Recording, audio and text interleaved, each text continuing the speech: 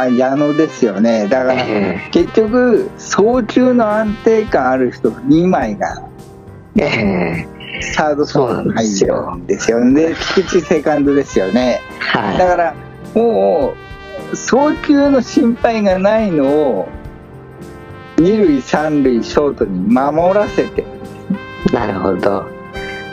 8番ライトや野間選手、9番ショート矢野選手しか、8、9番ってもう本当にものすごい守備系の人を並べたって感じですよね。並べたんだと思うんですよ、え多分矢野をショートにしてる時点でええ矢野の悪送球はあんまりないんですよないですね。そうですね。まあ、あの剛速球を松山が取れるかどうかぐらいの心配だけで、はいあとそうですね。上本は田中よりもサードの、サードの守備に関して言えば、うん田中はまだサード距離があるせいか、うん送球不安定なんですね。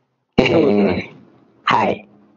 ところが上本の方がショートよりサードの方の送球が安定してるうーん。そうですね。確かにそうですね。あの、まあ、守備能力はあまり変わらない。まあ、もしかしたら田中のサードの方がちょっと動けてるかな、今シーズンはっていううん。イメージはあるんですが、はい。今回で言うと、セカンド、ショート、サードはもう全く、もう胸元に送球する人たちが、うん。で屈指の、まあ、セ・リーグでも屈指の内野陣かもしれないですね。内野手。で、はいもうショートバウンドで放るような、うん。あの、もう全部胸元に放るような、うん。あの、小細工したようなボールを放らないんですね、アウトを取るために。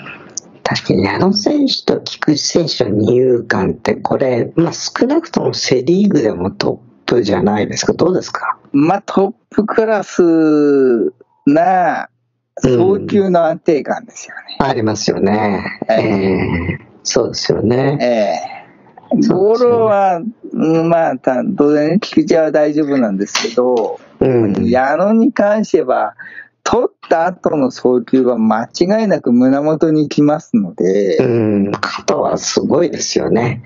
ええもう南米系選手みたいにするところありますけどね。えーなので、ここら辺を使って、松山に関しては、松山はやっぱり、まあ、日本シリーズでもやらかしましたけれどもあ、りましたシね。ョートバウンドは全部後ろに反らすリスクのある、うん。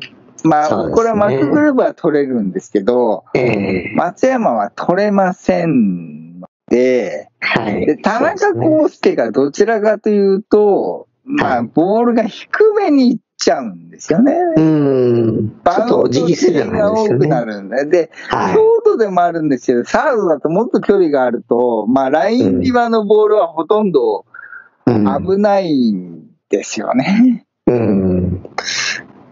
もう一つ塾長、6月9日金曜日のですね、こちらロッテとの話なんですけどね、マリマリンマリナーズとなんですけど、マリーンズとなんですけども、はい。あのー、8番サード、デビッドソン選手と、まあこれ、あのー、2軍に怪我で落ちてからですね、上がってきた初めての試合なんですけども、これ、塾長おっしゃってた、レアード選手の使い方、日本ハム時代の8番サードっていうのはいいんだってことをおっしゃってるじゃないですか。7番とか8番とか我慢する。本当に8番サードで使ったなって気がしたんですけど、あの、これは多分、はいロッテだからやったんだと思います。ああ、レアどういうことですか？あ、そういうことですか。イ日メージ本ハム戦は間に合わなかったんですよ。ええそうですよね。はい。ロッテ戦は間に合ったので、ええレアードのことを思い出させるために8番サードに使ってきた。なるほどね。ああ、一発やだるね。から、ロッテは日本ハムと戦ってる時に、8番レアードにかなりホームラン打たれたチームなので、そうですね。だから取ったって言われますもんね。ええええそうですよね。ああ、そういうことですか。もうここは、えー新井監督も、えー、もう一発狙いでいいっていう指示なはずなんですよ。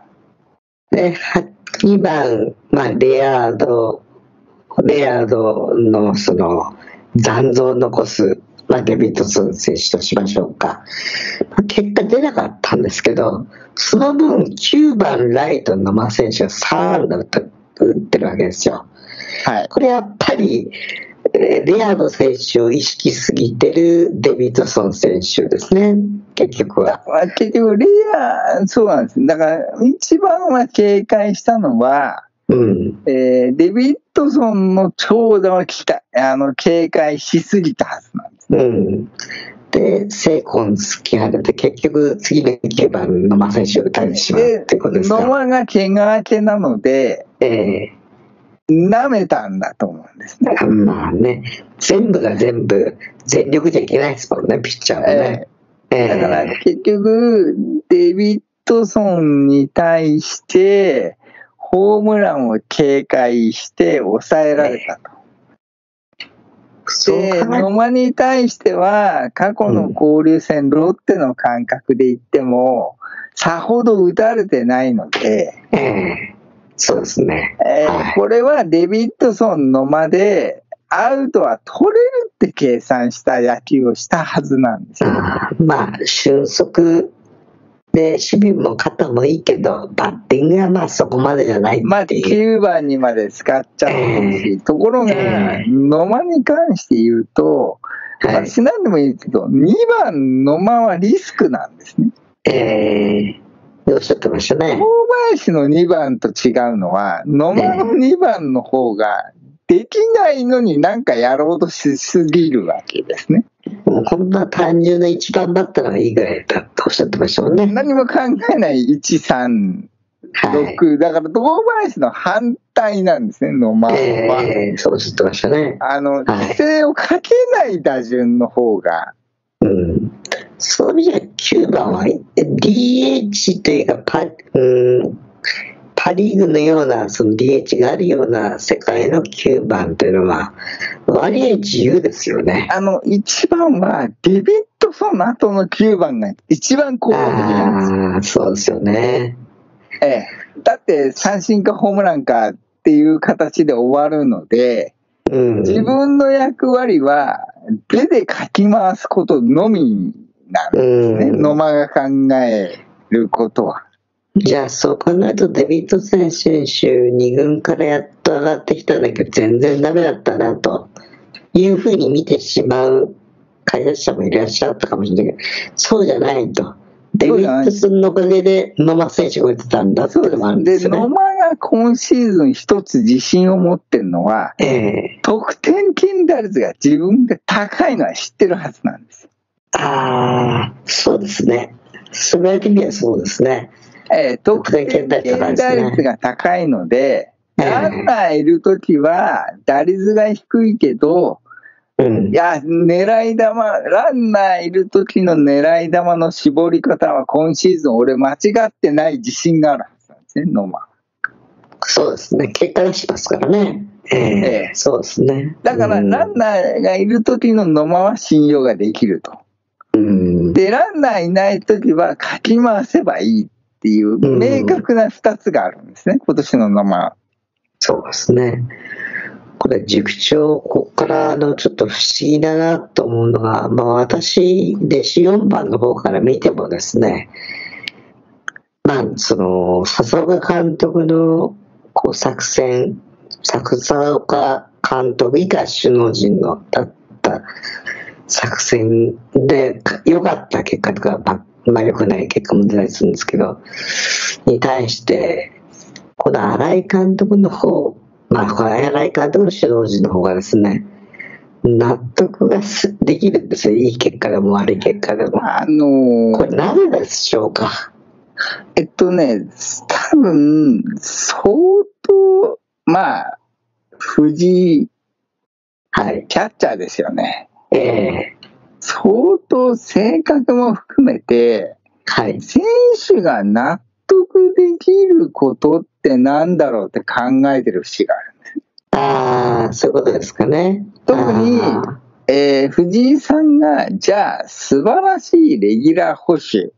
うん。うんまあ、レギュラーとして、はい。打者、打者藤井として結果を残してた人じゃない。そうですよね。はい。ええそうでしたでね。、この時に、結果が出なくて、納得するところってなんだろうって見てる節があるんですね。なるほ結果がど。出る、出てれば、誰だって納得するんですよ。あそうですね。ポテンシャルは、だって結果、おお、よかったよかったって流せる人がプロに行ってるはずなんで、はい、はい。そうですまあ、ね。そうじゃないとプロなんか行けないと思ってる節もあるんですが、はい問題は、ダメだったけど、うんいや、これ俺やったよね、仕事をって思わせるところに、打順を配置してる節があるんですね。ああ、なるほど。過剰に抱え込まないというか、そんな感じですかね。ええなるほどね。で、この時に、どうしても野間に犠牲になってもらわなきゃいけないのが2番になっちゃうんですね。なるほ他を当どね。てはめると2番しか開かないので、野間2番行くしかないええところはあるんですよ。はい。では、ねやっぱりチーム編成上、2番、2番西川、5番野間のリスクの方がでかいので、なるほど。ああ、そういうことですか。あの、得点圏打率等々見れば、2番西川、5番野間、やってもいいとは思うんですが、ええええええ野間がそこに対応できなかったリスクを藤井ヘッドがはい。踏み切ってないなって感じなんですよ。なるほど。ああ、そう考えてやっぱ藤井ヘッドを呼んできた、まあ、ライン監督と、まあ、それを了承した松田オーナーかもしれませんが、非常にいい選択肢だってことになりますね。ね、新井監督はこれを、これの役割を藤井ヘッドにやってほしいと思ったと思う。そうでしょう自分ね。はできないから。自分は多分やってしまいそうなのは、うん。笹岡監督みたいなことをやってしまいそうなんだと思うんですよ。いい人うん。として。いい人と言われてることで言うと、笹岡監督と同じことをやりかねないんです。うん。確かにそうですね。ええまあ、に、ある意味似たタイプなのかもしれないえですね。えタイプはえね、えそう、ええこれをやらない方法のヘッドコーチは誰ですかって話。うんそうですね。そうすると、新井監督はやっぱり自分が分かってるってことですよね。まあ、それ阪神でやってて、それと、思ったんだと思うんですよね。はい。多分、えっ、と、監督がキャッチャーの時は、ヘッドコーチは4番打者みたいな人がいいだろうん。う。ピッチャーじゃなくて。ええで、自分は4番打者、まあ主力で打点を稼ぐ人だったので、えええーキャッチャーだった人をヘッドコーチに欲しかったはずなんですよ。ああ、それはうまくいくパターンなのかもしれませんね。えーで、この時に、石原では経験がないんですよ。ああ、まあないですね。で、もう一つは、新井監督が多分解説者時代で見てて、石原良之の最大の長所である欠点は、カープしかやってない。ああ、そうですね。はい。藤井は、言い方悪いです近鉄阪神なんです。そうですね。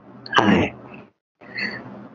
セセパパ・両リーリーグやってセ・リーグなんで、そうですね。交流戦等といろんなことを考えると、うん。藤井しか選択肢はないんですね、新井さん。うん。で、ど。パ・リーグやってるキャッチャー出身のセ・リーグもやってるってなると、うん。いないチャーいない。そうですね。かつ新井監督選と択肢がまあ、新井監督と一緒にやったということ。まあ、当然これ、新井監督が相手の人柄も知ってるっていう選択肢になると、うん。藤井さんしかいなくなってきちゃう。うん。となると、藤井監督をき切ってくれたというか、あ藤井コーチを切ってくれた、まあ、阪神タイガースで感謝しなくちゃいけない。感謝しなきゃいけないと思うんですよ。もうこれもう、あっという間に取れましたのえで、えそうですよね。ええあーこれはもう交流戦戦う上では、パ・リーグの情報が知ってるキャッチャー、まあキャッチャーとか出身の人がいないと、うん。どうにもならない。なるほど。まあ交流戦が鬼門なのは新井監督も言ってた話ですから。キャッチャーはヘッドというと、そこは話変わりますけど、中日ドラ中日ドラゴンズもヘッドはキャッチャーでしたっけ？西山監督西山コーチですかね？そうですね。